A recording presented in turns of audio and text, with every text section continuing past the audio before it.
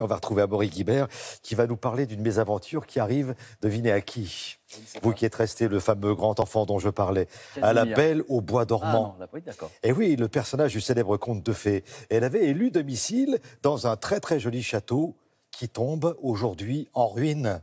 Et la Belle doit aujourd'hui faire ses cartons. Alors Amaury, qu'est-ce que c'est que cette histoire? J'ai l'impression que ce n'est pas vraiment, vraiment un conte de fées.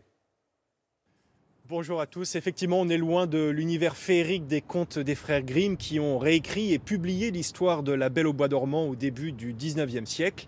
Une Belle au Bois dormant qui habitait donc jusqu'ici dans ce joli château de Zababourg. C'est un tout petit village situé à l'ouest de l'Allemagne. Alors, Bien évidemment, il ne s'agit pas de la vraie Belle au Bois dormant, mais d'une actrice payée par l'hôtel qui est installé dans la demeure, un hôtel qui, il y a des années, s'est autoproclamé château de la Belle au Bois dormant. Sauf qu'aujourd'hui, cet hôtel doit déménager et la Belle doit faire ses valises. Pourquoi exactement? On vous explique tout dans ce sujet réalisé avec Brice Boussoir et Julien Méchossi.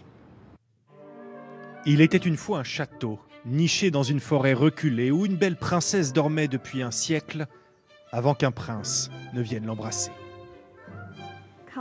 À peine ses lèvres m'ont-elles touché que j'ai senti sa présence et mon long sommeil a enfin pris fin. Je suis libre.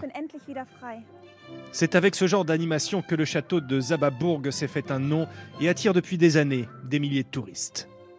Mais aujourd'hui, ce conte de fées commercial est terminé.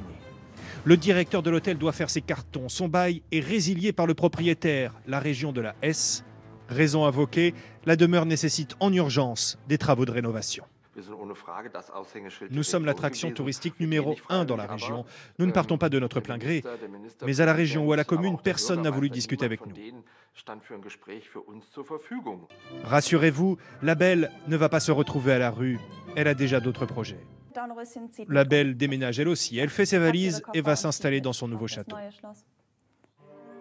Voici la nouvelle demeure de la princesse, à quelques kilomètres de là.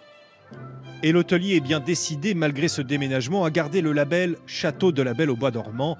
C'est une histoire de famille. C'est nous qui avons initié cette histoire en 1957, et de la même manière que la Belle a emménagé chez nous à l'époque, elle le fait aujourd'hui. Et si quelqu'un souhaite récupérer cette histoire d'une autre manière, nous verrons comment nous réagirons, mais nous sommes prêts à nous battre. Dernière promenade sur les remparts. La belle au bois dormant peut dire adieu à son beau château, mais les touristes vont-elles la suivre dans sa nouvelle demeure?